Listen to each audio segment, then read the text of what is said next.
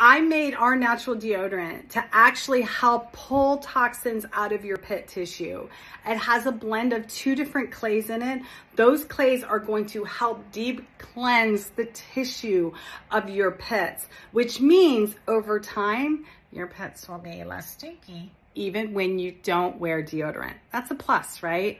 Also, we have zinc oxide in here. Zinc oxide's really great at neutralizing the other type of odor that's caused by um, short fatty acids. Short fatty acids live under your fat and your under your armpits and they stink. And most deodorants, especially natural deodorants, don't do anything. That's why they don't work.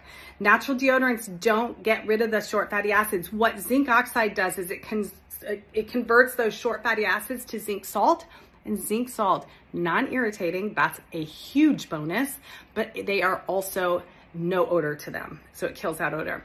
The problem with baking soda, so this is a baking soda free deodorant. Baking soda has a, a really awful pH for your armpit. It can cause a really bad burn.